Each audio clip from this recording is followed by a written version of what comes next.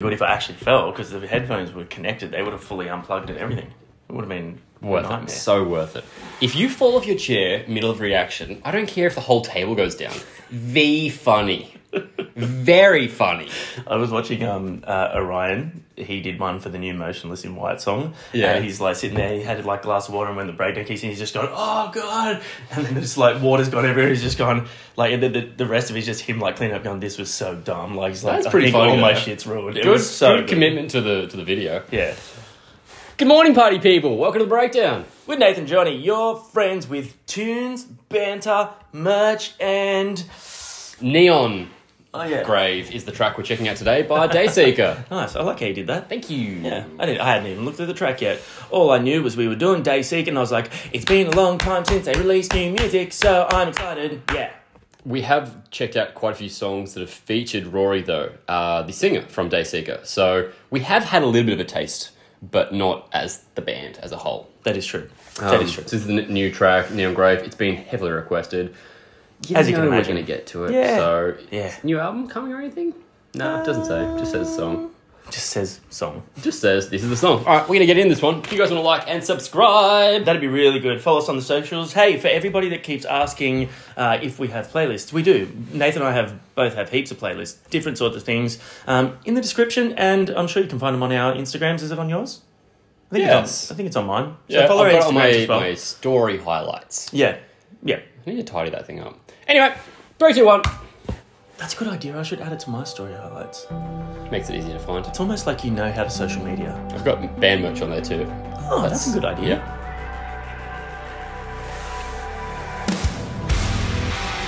Oh yeah.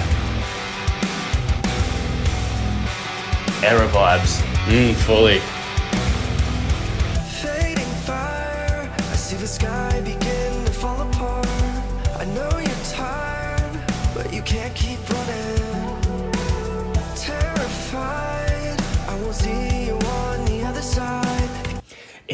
almost like the nicer your vocals are, the nicer you dress. Because if you noticed how great Noah from Bad Omens has been dressing lately in their videos? And he's the same, like just really nice Yeah. jacket, and then just ready to be like super nice sounding, but then also kind of like rip your nuts off with some screams. As a vocalist, Johnny dresses real nice too. What's that say about him? hey, hey, hey.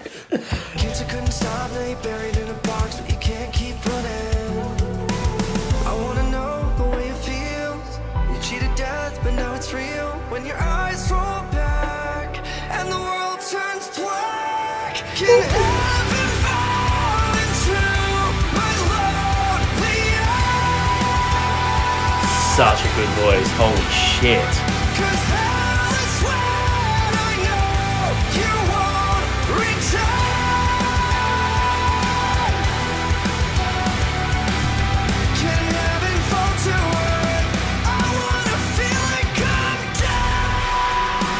Oh, we love that grit. Straight back into Rip City. It does have. I don't know why I didn't actually get into that sooner. It does have a huge Erra vibe to it. Yeah. And I only just thought like Neon Grave could be an Erra title too. really good. Um, but it, it's not. Obviously, they're not trying to copy them. It just No, has no, they've always vibe. been like sort of similar in style, I guess, in a way anyway. From the Yeah. same sort of cut from the same cloth, I guess you could say. You could say that. I'd allow it. Um, I'm really enjoying the visuals of this film clip too. Yeah, for sure. It's, really simple, but like beautiful lighting and Yeah. yeah. well done. Thank you.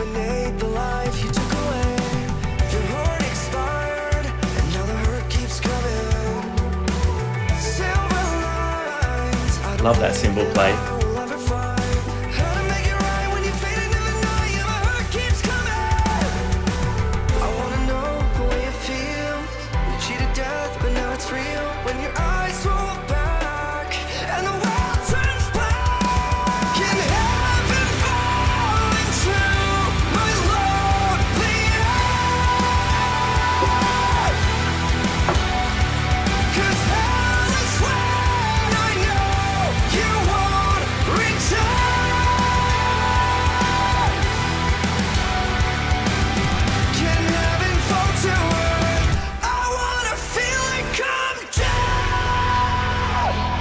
We're gonna get some heavies.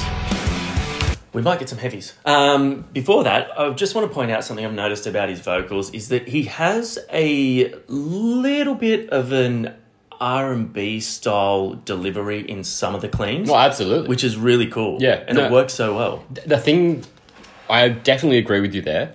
The thing that makes him a little bit different from guys like your Johnny Craig's, though, he doesn't overdo it. It's not Yes. too all over acrobatic, show you how crazy town I am. It's just super clean the Yeah. whole way through, which for me is the difference in why I don't necessarily get over his voice as opposed to others. Yeah, hundred percent. Yeah, those acrobatics can kind of get a little bit old for me. Yeah. like if it's overdone. Yeah. White noise filling my sleep.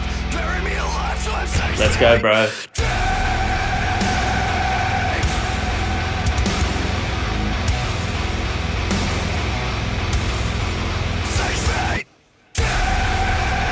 Then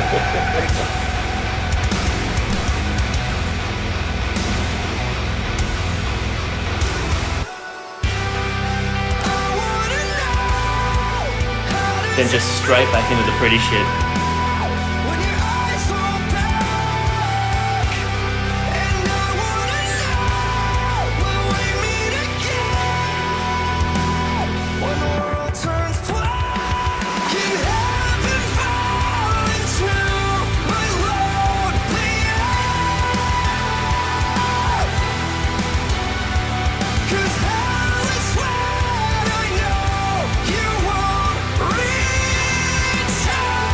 Oh, yeah, little show off. Can heaven fall to earth? I wanna feel Oh, So good. what a finish! Oh,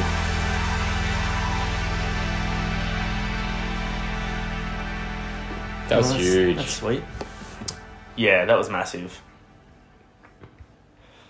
Whew.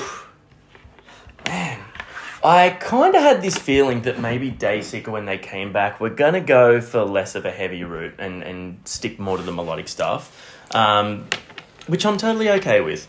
They put those little flourishes in there that that let you know they're still down with the heavies, and the riffs are still big. The drums are still crushing it. Um, and- That would fit really well into your easy riffing playlist.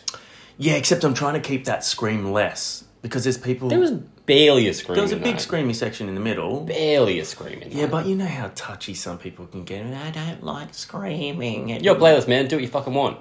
Yeah, that's a good fucking push.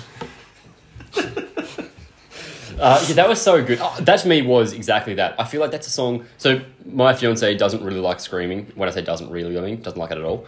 But I feel like if I put that on, she wouldn't be like, "Oh, turn this off now." Like I think Yeah. because it fit the song, it fit the mood. It was a build. It wasn't just too in your face. It was used in the right way to convey the emotion of the song. And I feel Yeah. like that's something that, I'm not going to justify it, but I feel like that's why you could have it on there. And if people have a problem with that, the problem is them, not the song. Hundred percent. And I feel like um, it's it's a really good uh, time for this sort of heavy music that has a little bit of a, a really tough grit in there. Like Dayseeker are doing it really well. Uh, Bad Omens are doing it really well. And because the vocalists are so great and so accessible and easy to listen to, like his voice, Noah's voice, absolutely beautiful. You know what I mean? So I when do know what those when those heavy moments come in, people are like, "Eh, okay, Yeah, cool, you can handle it. Yeah. Yeah. He has such a incredible range and Mm. there is such emotion to everything. It's not just, oh, I'm talented, so let me be talented for the sake of it. You really feel the connection to what he's singing about. Yeah, absolutely, man. And it, it's testament to how good bands like this are when it still becomes all about the song and not about the vocalist. Yeah, you're absolutely right. What do you guys think of that? Uh, we, as I said, we were heavily requested. There was quite a few comments I saw like, Johnny's gonna love this. Don't know why you didn't think I'd love it. Fuck you guys. But Johnny did love it. Johnny did love it. So Yeah. you're right. so did Nathan. So also, They don't care about that. I'm kidding. We love you. Mm, do we? Yeah, Fuck you guys. dude, you're getting real aggressive. If they don't want to listen to your easy riffing playlist, they're dead to me. You heard the man. See you guys next time.